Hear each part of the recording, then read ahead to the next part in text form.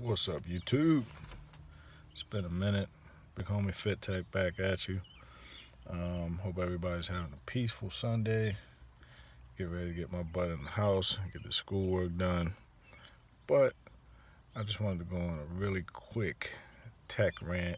It's been about two weeks since I didn't do my tech talk, and uh, I'm probably going to be uploading probably about two or three tech videos between today, which is Sunday, and um, probably Tuesday. So about, about two to three. For one specific reason.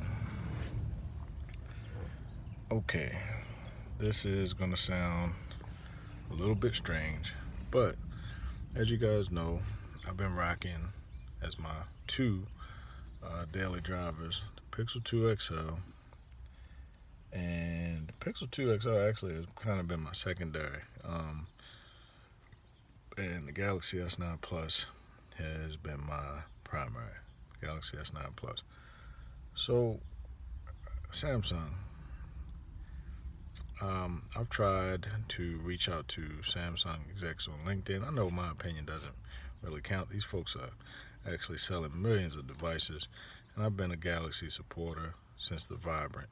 Um, I've liked Samsung devices since I rocked uh, the Blackjack, which if you're an old school techie, you know that the Blackjack was on AT&T. It was an exclusive device to AT&T, and it was rocking an older version of Windows. But Samsung makes good hardware, make a long story short.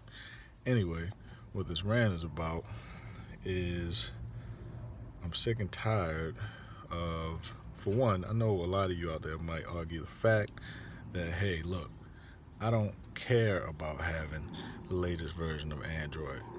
Okay, I get that, but I do. And there's a lot of people out there that do care when there's other